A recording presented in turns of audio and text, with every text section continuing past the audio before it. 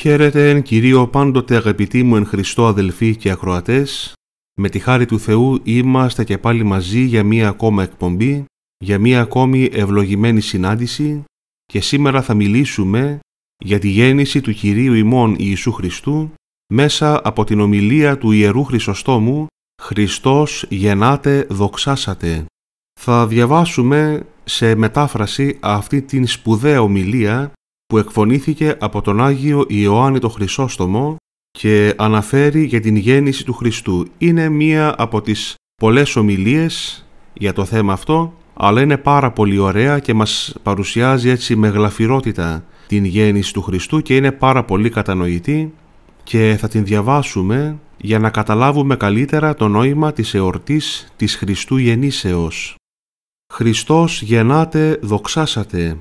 Η Ορθόδοξη Υμνολογία των Χριστουγέννων αναγγέλει θριαμβευτικά αλλά και τοποθετεί θεολογικά το μέγα μυστήριο της Θείας Ενανθρωπίσεως.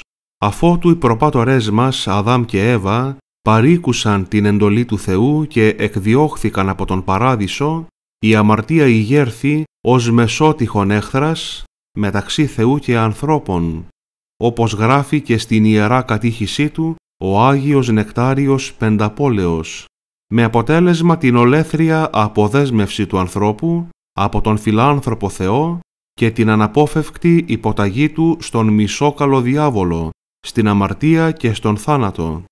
Έτσι, προ της Χριστού παρουσίας, λέει ο Άγιος Ιωάννης ο Χρυσόστομος, «Ευασιλεύεται ημών η φύσης υπό του διαβόλου, υπό της αμαρτίας, υπό του θανάτου, και ο μεν διάβολος υπάτα, η δε αμαρτία έσφαζεν, ο δε θάνατος έθαπτεν. Για την λύτρωση του ανθρώπου από την τυραννία της ψυχοκτόνου αυτής τριάδος, διάβολος, αμαρτία, θάνατος, δεν απέμενε άλλη ελπίδα από την άφατη Θεία Φιλανθρωπία. Έτσι ο Πανάγιος του Πατρός Υιός, εικόν ον του Πατρός, παρεγένετο επί τους συμμετέρους τόπους να των καταυτών πεποιημένων άνθρωπων ανακαινήσει. Λέει ο Μέγας Αθανάσιος, δηλαδή ο Πανάγιος Υιός του Θεού και Πατρός που είναι και εικόνα του Πατρός ήρθε στους δικούς μας τόπους έτσι ώστε να ανακαινήσει τον άνθρωπο τον οποίο αυτός δημιούργησε.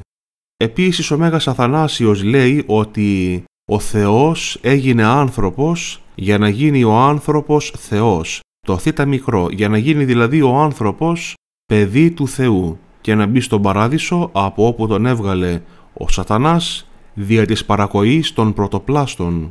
Γι' αυτό λοιπόν και χαίρεται η οικουμένη, γι' αυτό πανηγυρίζει και η Εκκλησία, γι' αυτό και του χρυσορίμωνος η γλώσσα αποκαλεί την εορτή των Χριστουγέννων Μητρόπολη Πασών των Εορτών. Γι' αυτό όλοι οι άνθρωποι σκυρτούμε τώρα με ελπίδα ότι Θεός εν σαρκή εφάνει σωτήρ των ψυχόνιμων. Η ομιλία του Αγίου Ιωάννου του Χρυσοστόμου εις το γενέθλιον του Σωτήρος ημών Ιησού Χριστού εκφωνήθηκε στην Αντιόχεια κάποια Χριστούγεννα της προ-τελευταίας δεκαετίας του τετάρτου αιώνα μετά Χριστόν. Θέμα της ομιλίας είναι το μυστήριο της σαρκώσεως του Λόγου του Θεού και η ερμηνεία του μεγαλειώδους σχεδίου της Θείας Οικονομίας, συγκρίνοντας ο Άγιος Πατήρ τα γεγονότα της Παλαιάς Διαθήκης και της Καινής, διαπιστώνει την προαγγελία της ενανθρωπίσεως του Κυρίου, την οποία αν και την γνώριζαν οι Ιουδαίοι, δεν την αποδέχθηκαν. Έτσι τόσο αυτοί όσο και κατ' επέκτασιν όλοι οι ανά τους αιώνες άπιστοι και αμφισβητείες ελέγχονται για την αγνωμοσύνη τους προς τον ευεργέτη μας Κύριο. Ο λόγος του Ιερού Χρυσοστόμου με το ενθουσιώδες πανηγυρικό ύφος, την συστηματική αγιογραφική κατοχύρωση, τον πλούτο των επιχειρημάτων και την θεολογική σαφήνεια, τέρπει, πείθει, ενθουσιάζει, συναρπάζει. Με συνοδοιπόρο λοιπόν τον Ιερό Πατέρα και τα χρυσά του λόγια ας πορευτούμε μέχρι το Θεοδέγμον Σπήλεον και ας προσκυνήσουμε τον εν σπαργάνης ηλιμένων για την σωτηρία μας Θεάνθρωπο Κύριο. Αυτός λοιπόν ήταν ο πρόλογος της ομιλίας, τώρα θα προχωρήσουμε στο κυρίως μέρος της ομιλίας. Χριστός γεννάται. Μυστήριο παράξενο και παράδοξο αντικρίζω. Φωνές ποιμένων φτάνουν μέχρι τα αυτιά μου. Δεν παίζουν σήμερα με τις φλογέρες τους κάποιο τυχαίο σκοπό. Τα χείλη τους ψάλουν ύμνο ουράνιο. Οι άγγελοι υμνολογούν, οι αρχάγγελοι ανυμνούν, ψάλουν τα χερουβίμ και δοξολογούν τα σεραφίμ. Πανηγυρίζουν όλοι βλέποντας τον Θεό στη γη και τον άνθρωπο στους ουρανούς. Σήμερα η Βιθλεέμ μιμήθηκε τον ουρανό. Αντί για αστέρια δέχθηκε τους αγγέλους. Αντί για ήλιο δέχθηκε τον ήλιο της δικαιοσύνης. Μη ζητάς να μάθεις πώς. Όπου γαρβούλεται Θεός, νικάτε φύσεως τάξης. Εκείνος λοιπόν το θέλησε και το έκανε. Κατέβηκε στη γη και έσωσε τον άνθρωπο. Όλα συνεργάστηκαν μαζί του για αυτόν τον σκοπό. Σήμερα γεννιέται αυτός που υπάρχει αιώνια και γίνεται αυτό που ποτέ δεν υπήρξε. Είναι Θεός και γίνεται άνθρωπος. Γίνεται άνθρωπος και πάλι Θεός μένει. Όταν γεννήθηκε, οι Ιουδαίοι δεν δέχονταν την παράδοξη γέννησή του. Από τη μία οι Φαρισαίοι παρερμήνευαν τα Ιερά Βιβλία και από την άλλη οι γραμματείς δίδασκαν άλλα αντί άλλων. Ο Ηρώδης πάλι ζητούσε να βρει το νεογέννητο βρέφος όχι για να το τιμήσει αλλά για να το σκοτώσει. Ε, λοιπόν, όλοι αυτοί σήμερα τρίβουν τα μάτια τους βλέποντας τον βασιλιά του ουρανού να βρίσκεται στη γη με ανθρώπινη σάρκα γεννημένος από παρθενική μήτρα και ήρθαν οι βασιλείς να προσκυνήσουν τον επουράνιο βασιλιά της δόξης. Ήρθαν οι στρατιώτες να υπηρετήσουν τον αρχιστράτηγο των ουρανίων δυνάμεων. Ήρθαν οι γυναίκες να προσκυνήσουν εκείνον που μετέβαλε τις λύπες της γυναίκας σε χαρά. Ήρθαν οι παρθένες να προσκυνήσουν εκείνον που δημιούργησε τους μαστούς και το γάλα και τώρα θυλάζει από μητέρα Παρθένο. Ήρθαν τα νήπια να προσκυνήσουν εκείνον που η μανία του Ηρώδη τα ανέδειξε σε πρωτομάρτυρες. Ήρθαν οι άντρες να προσκυνήσουν εκείνον που έγινε άνθρωπος για να απαλλάξει τους ανθρώπους από τα δεινά τους. Ήρθαν οι ποιμένες να προσκυνήσουν τον καλό ποιμένα που θυσίασε τη ζωή του για χάρη των προβάτων. Ήρθαν οι ιερείς να προσκυνήσουν εκείνον που έγινε αρχιερέας κατά την τάξη Μελχισεδέκ. Ήρθαν οι δούλοι να προσκυνήσουν εκείνον που πήρε δούλου μορφή για να μετατρέψει τη δουλεία μας σε ελευθερία. Ήρθαν οι ψαράδες να προσκυνήσουν εκείνον που τους μετέβαλε σε αλληλείς ανθρώπων. Ήρθαν οι τελώνες να προσκυνήσουν εκείνον που από τους τελώνες τον ανέδειξε μέγα Ευαγγελιστή. Ήρθαν οι πόρνες να προσκυνήσουν εκείνον που παρέδωσε τα πόδια του στα δάκρυα μιας πόρνης. Κοντολογής ήρθαν όλοι οι αμαρτωλοί να δουν τον αμνό του Θεού που σηκώνει στους ώμους του την αμαρτία του κόσμου. Οι μάγοι για να τον προσκυνήσουν, οι ποιμένες για να τον δοξολογήσουν, οι τελώνες για να τον κηρύξουν, οι πόρνες για να του προσφέρουν μοίρα και δάκρυα μετανοίας, η Σαμαρίτης για να ξεδιψάσει και η Χαναναία για να ευεργετηθεί. Αφού λοιπόν όλοι σκυρτούν από χαρά, θέλω και εγώ να σκυρτήσω, θέλω να χορέψω, θέλω να πανηγυρίσω, χωρίς κιθάρα, χωρίς αυλό, χωρίς λαμπάδες αναμένες στα χέρια μου. Πανηγυρίζω κρατώντας αντί για αυτά τα σπάργανα του Χριστού. Αυτά είναι η ελπίδα μου, αυτά η ζωή μου, αυτά η σωτηρία μου, αυτά ο αυλός μου, αυτά η κιθάρα μου. Γι' αυτό τα έχω μαζί μου, για να πάρω από την δύναμή τους δύναμη, για να φωνάξω μαζί με τους αγγέλους, δόξα εν υψής της Θεό και με τους ποιμένες και επιγής ειρήνη εν ανθρώπης ευδοκία. Κατά Λουκάν 2,14 Και ξέρετε γιατί; Γιατί εκείνος που προαιώνια γεννήθηκε από τον πατέρα ανεξήγητα, γεννιέται σήμερα από παρθένο υπερφυσικά το πώς το γνωρίζει η χάρις του Αγίου Πνεύματος. Εμείς μόνο τούτο μπορούμε να πούμε, ότι αληθινή είναι και η ουράνια γέννησής του, αδιάψευστη είναι και η επίγεια. Αλήθεια είναι ότι γεννήθηκε Θεός από Θεό, αλήθεια είναι και ότι γεννήθηκε άνθρωπος από Παρθένο. Στον ουρανό Χριστός είναι ο μόνος που γεννήθηκε από τον Πατέρα μόνο, Υιός του μονογενής και στη γη είναι ο μόνος που γεννήθηκε από την Παρθένο μόνο, Υιός μονογενής της Παρθένου. Όπως στην περίπτωση της ουράνιας γεννήσεώς του είναι ασέβεια να σκεφτούμε μητέρα, έτσι και στην επίγεια περίπτωση της επίγειας γεννήσεώς του είναι βλασφημία να υποθέσουμε πατέρα. Ο Θεός στον ουρανό τον γέννησε με τρόπο θεϊκό. Η Παρθένος στην γη τον γέννησε με τρόπο υπερφυσικό. Έτσι, ούτε η ουράνια γέννηση του Χριστού, η προαιώνια γέννησή του από το Θεό Πατέρα δεν μπορεί να εξηγηθεί, αλλά ούτε και η ενανθρώπισή του εκ Πνεύματος Αγίου και Μαρίας της Παρθένου μπορεί να ερευνηθεί. Το ότι τον εγέννησε η Παρθένος σήμερα το γνωρίζω. Το ότι τον γέννησε ο Θεός προαιώνια το πιστεύω και έχω μάθει να τιμώ σιωπηλά την γέννησή Του χωρίς φιλοπερίεργες έρευνες και ανώφελες συζητήσεις γιατί σ' ό,τι αφορά τον Θεό δεν πρέπει κανείς να στέκεται στην φυσική εξέλιξη των πραγμάτων αλλά να πιστεύει στην δύναμη εκείνου που κατευθύνει τα πάντα, στην δύναμη δηλαδή του Θεού που κατευθύνει τα πάντα. Τι φυσικότερο από το να γεννήσει μία παντρεμένη γυναίκα, αλλά και τι πιο παράδοξο από το να γεννήσει παιδί μία παρθένος, χωρίς άνδρα, αλλά και πάλι παρθένος να μείνει.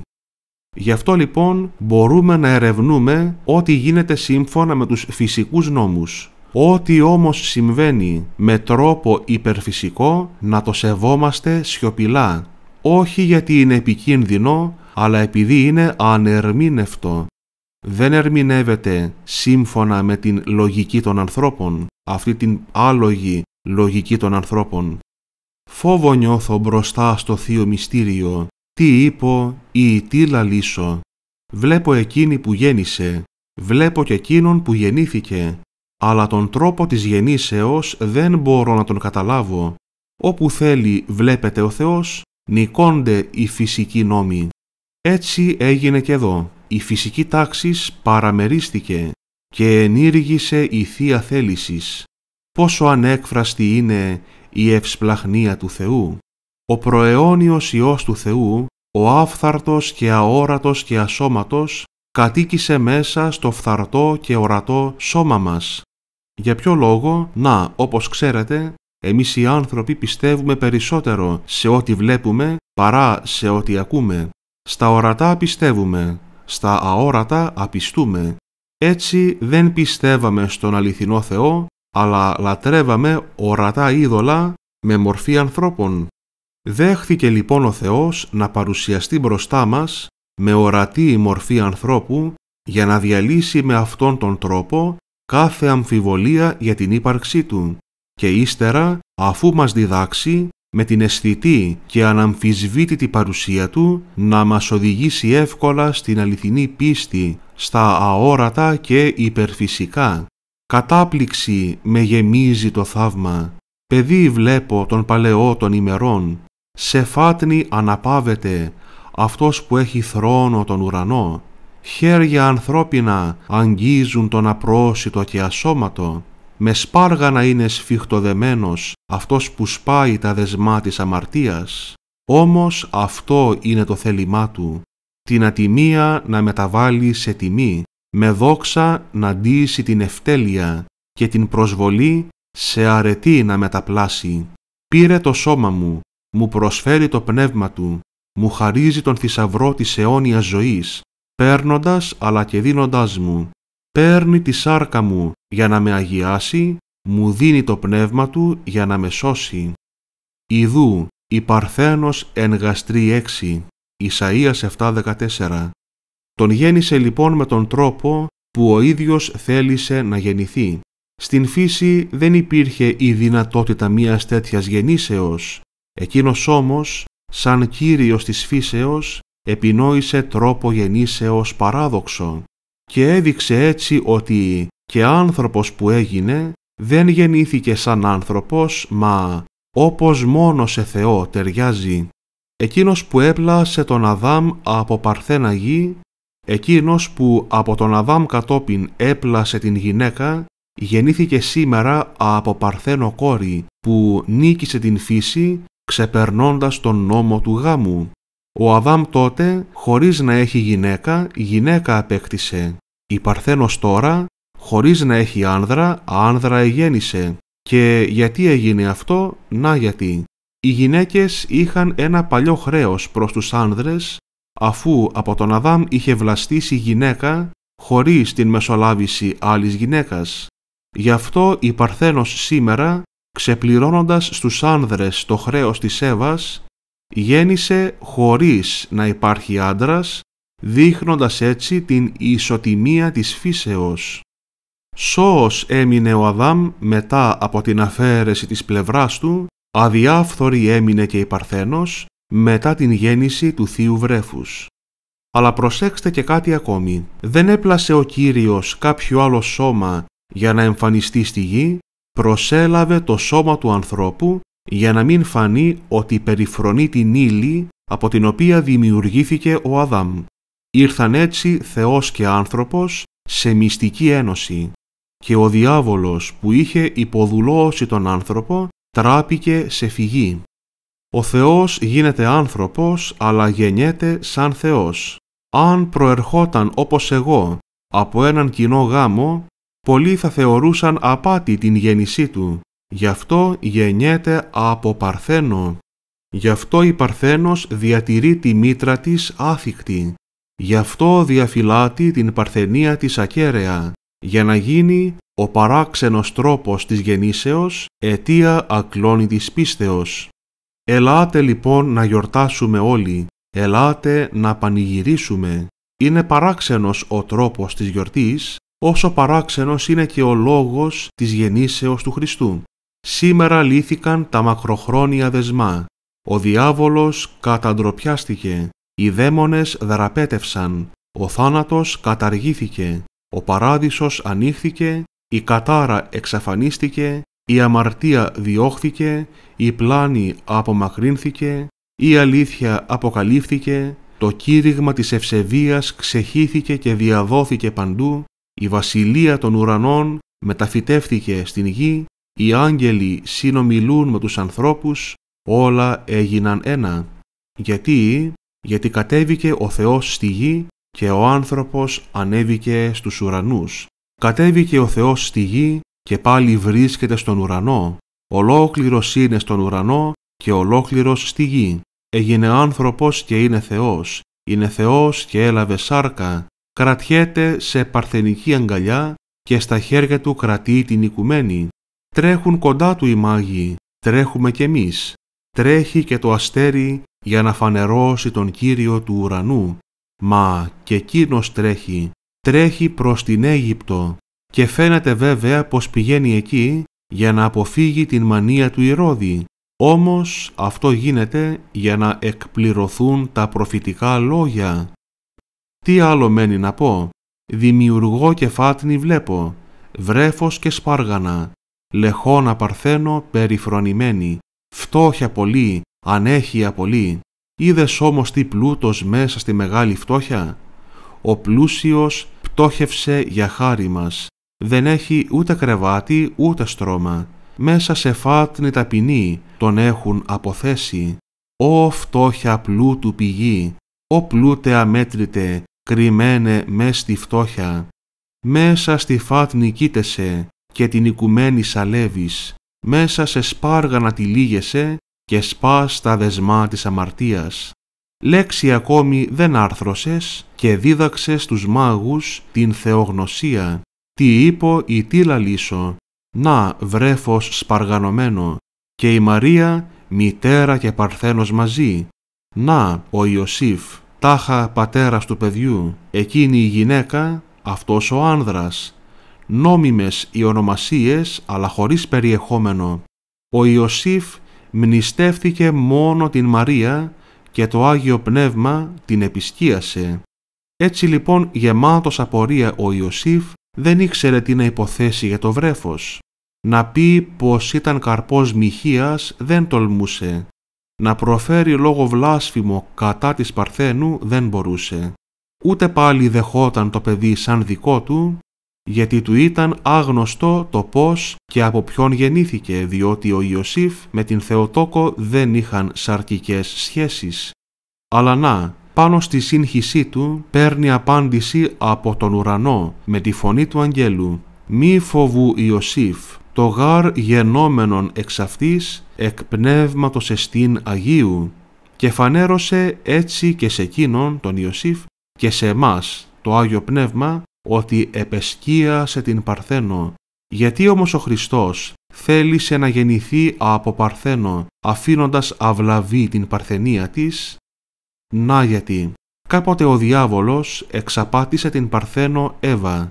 Τώρα ο άγγελος έφερε το λυτρωτικό μήνυμα στην Παρθένο Μαριάμ. Κάποτε η Εύα ξεστόμησε λόγο που έγινε αιτία θανάτου.